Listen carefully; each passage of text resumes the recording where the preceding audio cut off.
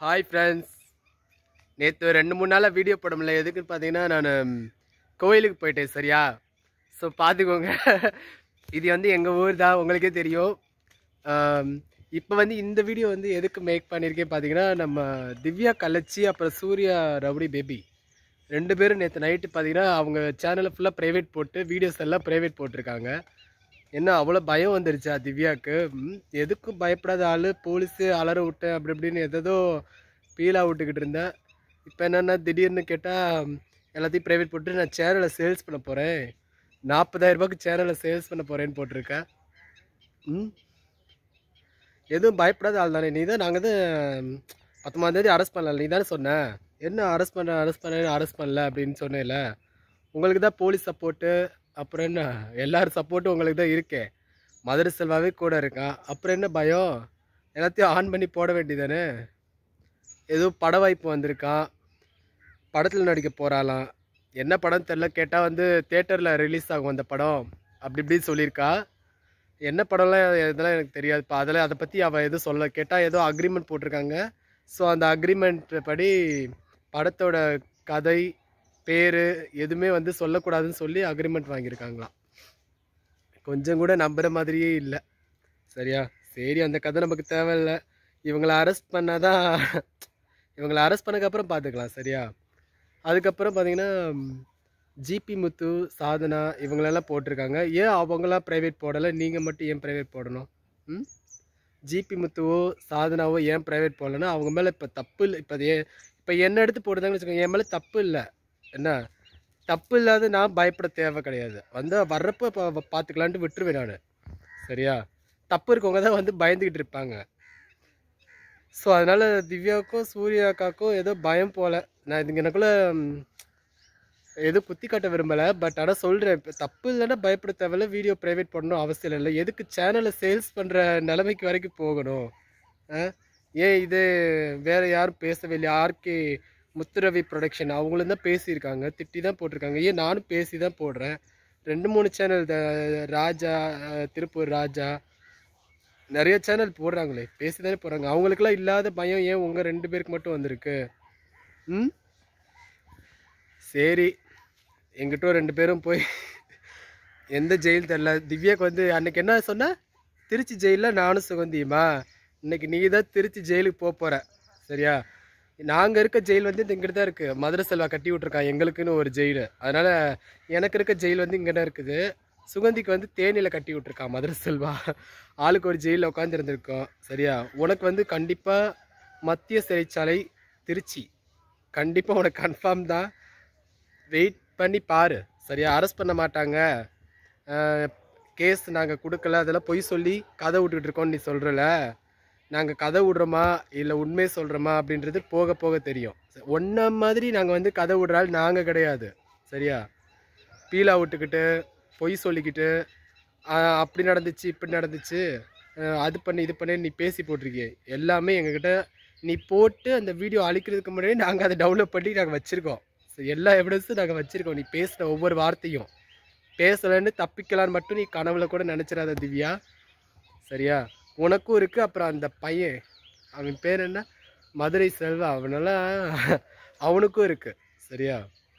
உங்கள் ரெண்டு பேருக்கும் அதாவது நீ வந்து அதாவது மதுரை செல்வா வந்து உனக்கு வந்து அப்பான்னு நீ சொல்கிற ஸோ உங்கள் அப்பாவோ மாமாவோ இல்லை புருஷனோ கள்ள புருஷனோ அதெல்லாம் எனக்கு தெரியாது.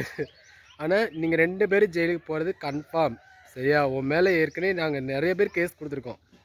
கேஸ் கொடுக்க முடியாது கேஸ் கொடுக்க முடியாதுன்னு சொன்னல. அப்புறம் அந்த பையன் மூர்த்தி அவன் மேலேயும் சேர்த்து தான் கொடுத்துருக்கோம். ஸோ கண்டிப்பாக உங்களெல்லாம் அரெஸ்ட் பண்ணுவாங்க. சரியா? எங்களை அரெஸ்ட் பண்ணும்போது நாங்கள் போய் பார்த்துக்கிறோம். எங்களை அதாவது ஆதாரம் இருந்து நீ போய் கொடுத்து சொன்னால் நாங்கள் வந்து பேசலாம். சரி உண்மை ஆமாம் நாங்கள் தான் இது பண்ணோம் அப்படி இப்படின்ட்டு.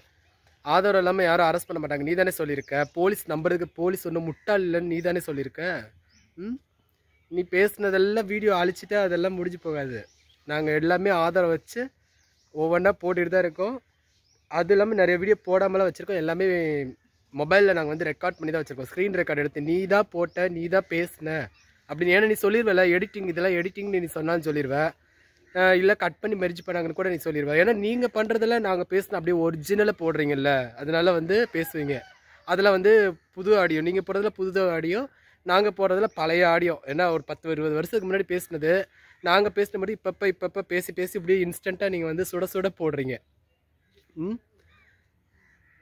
எல்லா ஆடியோ எல்லா வீடியோவும் அதனால தான் நாங்கள் வந்து என்ன பண்ணுறது பார்த்தீங்கன்னா ஸ்க்ரீன் ரெக்கார்ட் பண்ணுறது அதுவும் அந்த பாதி ஐடியெல்லாம் தெரிகிற மாதிரி. ஏன்னா இந்த பிள்ளை தான் போட்டுச்சுன்றது போலீஸ்க்கு சொல்லணும்ல. எடிட்டிங் இல்லைன்ட்டு. அப்புறம் எடிட்டிங்னு சொல்லி இந்த பிள்ளை தப்பிச்சிரும். சரியா? இல்லை பைத்தியம் மாதிரி நடிச்சிடும் பைத்தியம் மாதிரி இன்னிலாம் நடிக்க முடியாது திவ்யா. அப்படி நீ ஒருவேளை நீ வந்து போலீஸ் ஸ்டேஷனில் பைத்தியம் மாதிரி நடிச்சினா உடனே உன்னை வந்து நாங்கள் மென்டல் ஆஸ்பத்திரியில் சேர்க்க சொல்லுவோம். சரியா? ஸோ அதனால இந்த தடவை நீ வந்து எங்கேயும் ஓடவும் முடியாது ஒளியவும் முடியாது. உன்னை எல்லா பக்கமும் எல்லாரும் வாட்ச் பண்ணிட்டு தான் இருக்காங்க. எல்லோரும் கம்ப்ளைண்ட் கொடுத்து தான் வச்சுருக்காங்க. சரியா? நீ வந்து ஜெயிலுக்கு போகிறது வந்து கன்ஃபார்ம் ஓகேவா சரி. நீ வந்து அவளை பற்றி பேசுகிறதுக்கு எதுவும் இல்லை. அவள் ஜெயிலுக்கு போகலன்னா அதுக்கப்புறம் பாருங்கள் அதுக்கப்புறம் என்ன பண்ணுறோன்னு பார்த்துட்டே இருங்க. இந்த இந்த டிஷர்ட் வந்து நல்லா இருக்குதா? நேற்று வந்து எடுத்த இந்த டிஷர்ட் இந்த டிஷர்ட்டை பற்றி நான் ஒரு vlog போடுறேன் ஓகேவா கண்டிப்பாக போடுறேன். நீங்களாம் கேட்டு ஒரு ஒரு பையன் வந்து கேட்டிருந்தேன். கார்த்திக் தான் அந்த பையன். அண்ணன் நீங்கள் போட்டுக்க டிஷர்ட் வந்து நல்லா இருக்குது. எங்கே வாங்குனீங்க? அப்படின்னு சொல்லிட்டு ஒரு vlog போடுங்க அப்படின்னு சொல்லி சொல்லியிருந்தான். ஸோ கண்டிப்பாக அந்த பையனுக்காக தான் இன்றைக்கி அந்த விளாக் வந்து நான் எடுத்து போடுறேன். பாருங்கள் நேற்று வந்து ஒரு கோயிலுக்கு போனேன். ஒரு காளமாடு ரெண்டு சண்டை போட்டுக்கிட்டு இருந்துச்சு. அதை போட்டதுக்கு காளமாடை போய் யாராவது அடக்க முடியுமா? சொல்லுங்க. அது அது ரெண்டு சண்டை போட்டு ஒரு பைக்கே உடச்சி விட்டுருச்சு. பைக்கை அது ஒரு பழைய மாடல் பைக் புது பைக்கில் கிடையாது. ஒரு பழசு தான்.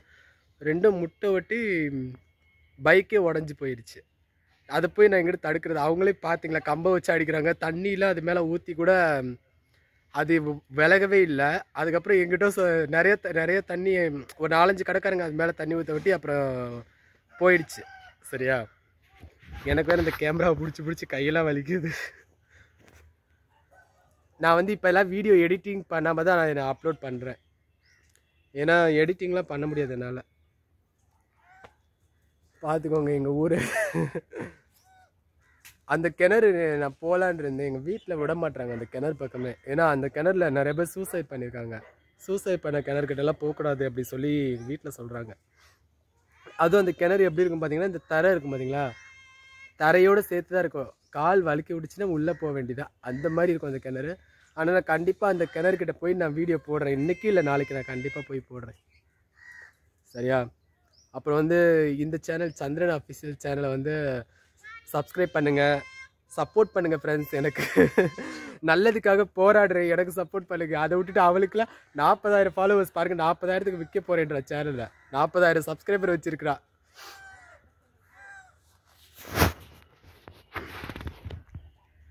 வேற என்ன சொல்றது?